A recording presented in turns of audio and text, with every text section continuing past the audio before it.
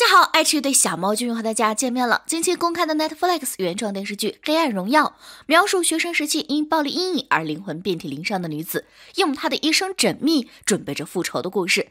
这次宋慧乔明显抛弃了美貌，想在演技领域拼一下。很明显，宋慧乔的表演很精彩。同时，剧中一位抢眼的熟男，举手投足都特别性感。他就是郑成日饰演的宋慧乔的死敌林志妍的角色的丈夫何杜岭。宋慧乔饰演的文东恩刻意接近他，两人之间有了暧昧的氛围。文东恩成功引起杜岭的注意。随着剧情发展，何杜岭对文东恩更加好奇。不少网友看完《黑暗荣耀》后直呼：“啊，这对 CP 真好磕，太喜欢他们的对手戏了。”接下来，我们就来看一下郑成日和宋慧乔的对手戏吧。在剧中，宋慧乔的死对头林志妍如愿实现了儿时的理想，嫁给了一位优秀的男人。他事业有成，穿着精致，有着极高品味，沉默寡言却不失情趣。这样一个角色简直就是完美人夫，你不得不佩服韩国人把财阀这一群体在影视剧中研究的明明白白。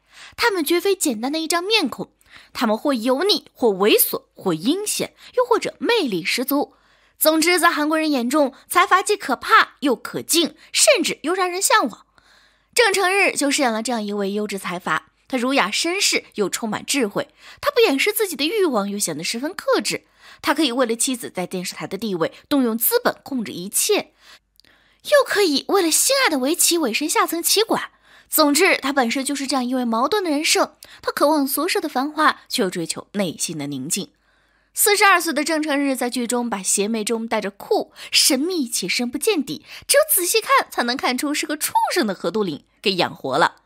他成就了这部剧一个非常有魅力的人物。剧情上来说，文敦在复仇过程中，我觉得他花费最多时间来搞定的便是何杜岭，因为这个角色的魅力与文东恩旗鼓相当。他总是在暗处默默的观察，他要求完美，他聪明，两个人相处起来也更有张力与欲望。最绝的一场戏便是棋馆时两个人相遇的那一刻，音乐与拍摄手法都像是致敬王家卫的《花样年华》，也确实是有味道。在何杜岭失望的转身的刹那，文东恩命运般的登场，在他的注视下走到了棋盘。后来两个人对峙的时刻，何杜岭从下到上打量的眼神，真的是让人疯狂心动啊！文东恩对于何杜岭来说是一个魅力的存在。接下来，文多恩处处攻略他的领地，给他渗透信息，他周围充满了关于文多恩留下的内容。无论是小到他听到妻子班主任疯癫的内容，还是大到利用孙明武的身份给他发他俩便利店的照片，让他发现妻子与全在俊和女儿秘密的蛛丝马迹，最后到他询问崔慧婷，答案都在文东恩的预设下的时候，他看到女儿的班主任是文东恩的时候，他终于串起来了所有的信息。但是他没有急于主动联系文东恩，因为文东恩所有的信息已经让他被动入局，他讨厌被掌控的感觉。但是文敦他不仅掌控了所有的内容，还让他被迫进入了这场复仇的棋局。两个人在旗鼓相当对决中彰显魅力，而何杜岭亦正亦邪的性格又给他蒙上了一层神秘感。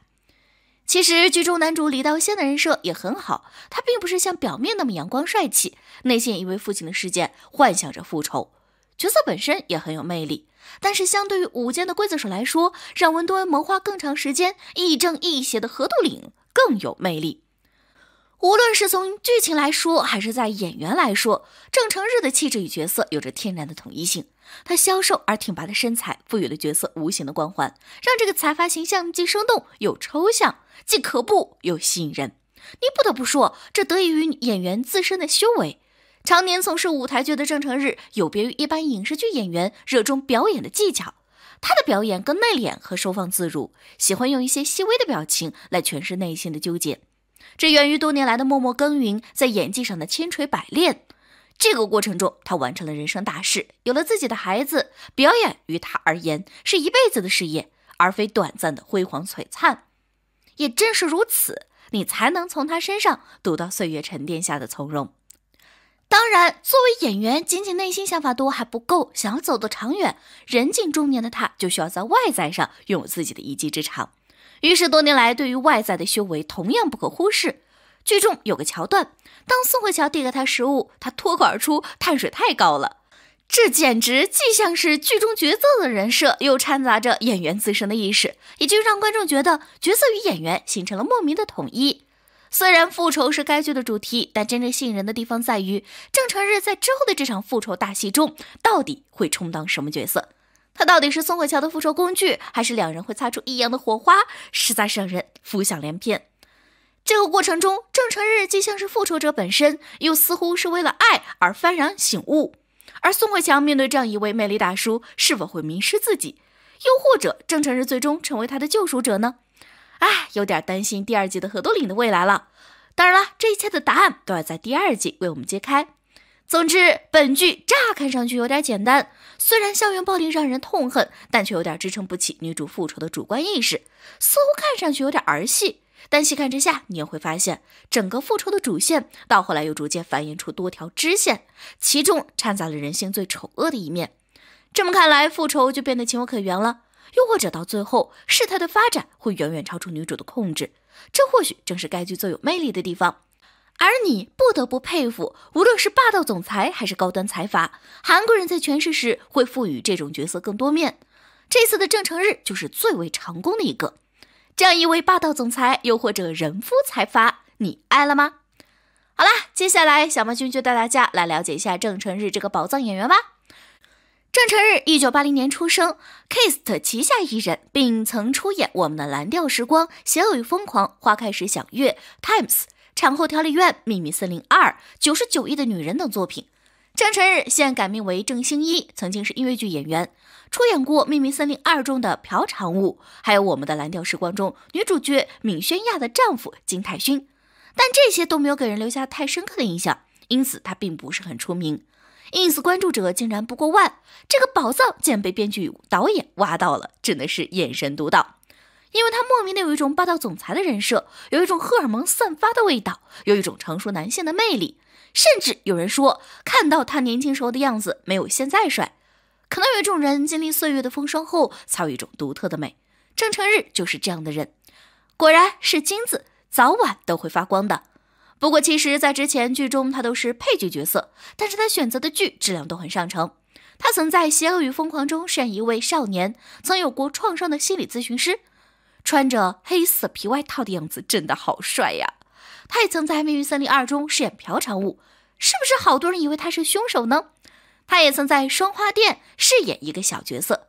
插一句，突然发现，在《双花店》中打酱油的好多角色都很出名呢。宋仲基、林周焕以及吕珍九都是其中打酱油的护卫，现在都很出名。因为之前都是小角色，所以好多都没有剧照。不过通过这部剧饰演亦正亦邪的财阀戏路，估计会打开戏路的大门。毕竟韩剧关于财阀的可真不少，而且好多人都已经去关注大叔啦。